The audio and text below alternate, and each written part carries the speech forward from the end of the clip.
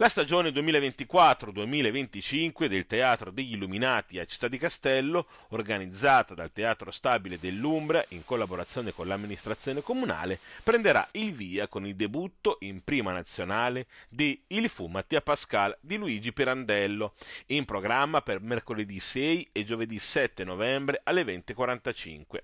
Geppi Gleieses, diretto da Marco Tullio Giordana, è l'interprete di uno dei personaggi più iconici della letteratura pirandelliana. Il Fumatea Pascale è un grandissimo romanzo di Pirandello eh, che stranamente lui non ha pensato di scrivere questo testo come testo teatrale, ma è proprio un romanzo. Quindi il nostro è un adattamento mio e di Geppi Gleieses, che è l'attore principale, il, il capocomico di questa compagnia che allestisce lo spettacolo.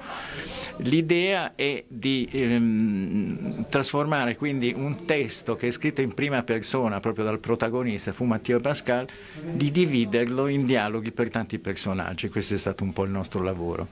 È un testo fondamentale del Novecento perché si può dire che sia il romanzo che mette in scena un tema che sarà centrale per tutto il secolo, cioè quello del doppio, dello sdoppiamento, dell'alterità.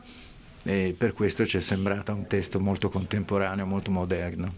Con Gleieses sul palco un cast eccezionale composto da 11 attori, Marilu Prati, Nicola Di Pinto, Roberta Lucca, Giada Lorusso, Valeria Contadino, Ciro Capano, Totò Onnis, Francesco Cordella, Teo Guarini, Davide Montalbano e Francesca Iasi. Un bello spettacolo, dovete aspettarvi, si deve aspettare il pubblico di Città di Castello, un grande spettacolo, perché oggi lei ha detto una compagnia con 11 attori, 6 tecnici, cosa sono compagnie che si vedono molto raramente oggi, no? in cui si, tende a, al monologo che magari ti fa guadagnare un po' di soldi, magari senza scene, magari senza costumi, qui invece sono tantissimi costumi, tanti cambi, scene, proiezione, uno spettacolo molto affascinante, con una grande regia, eh, Marco Tullio Giordana, eh, che eh, se non se non fosse così un, un adattamento teatrale di,